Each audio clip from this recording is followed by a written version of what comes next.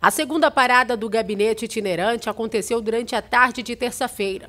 O objetivo é aproximar o poder legislativo da população.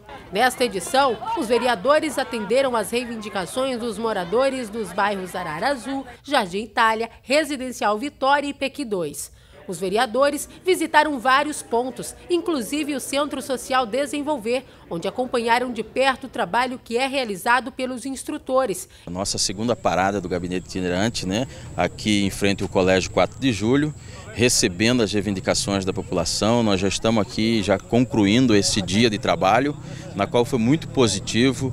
Fizemos várias visitas, é, no projeto Desenvolver, no PSF Arara Azul, ouvindo as reivindicações ali em relação à saúde, também aqui na Escola 4 de Julho, no comércio da localidade, da região aqui. Então atendemos agora desta vez é, quatro bairros, né, que foi o Arara Azul, o Residencial Vitória, o Piqui 2 e também o Jardim Itália, atendendo às reivindicações da população nos diversos segmentos, nos diversos setores e eles puderam vir aqui também é, registrar é, suas indicações, seus pedidos, para que a gente possa trabalhar em cima disso, levar até o Poder Executivo para que possa implementar essas políticas solicitadas pela população aqui desta região. Então, a nossa segunda parada, nosso segundo gabinete itinerante, estaremos continuando com esse trabalho, indo para outros bairros, então peço à população de Nova Mutum que nos aguarde, que nós estaremos indo aí para ouvir você,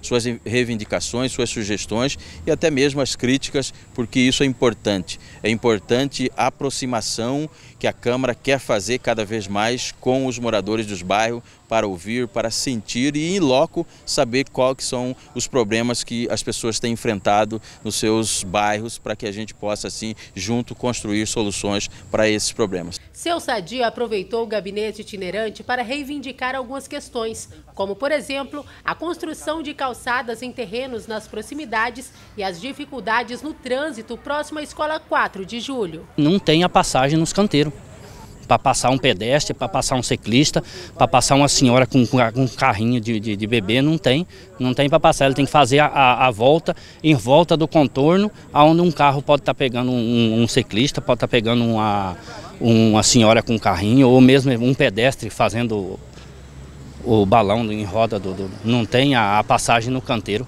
O que precisa aqui é as calçadas, né? Por causa que não tem calçada daqui até lá em cima na, na, na Avenida Brasil. Não tem calçada para os pedestres caminhar, tem que caminhar na rua.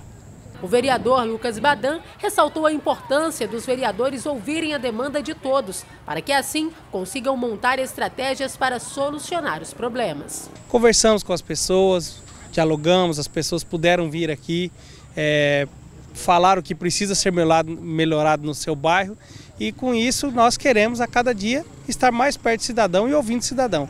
Esse é o objetivo do nosso gabinete itinerante e nos, a cada 15 dias nós estaremos aí em um, em, um, em um bairro. Então você venha, participe, faça a sua reivindicação. Nós estamos aqui para ouvir você, cidadão.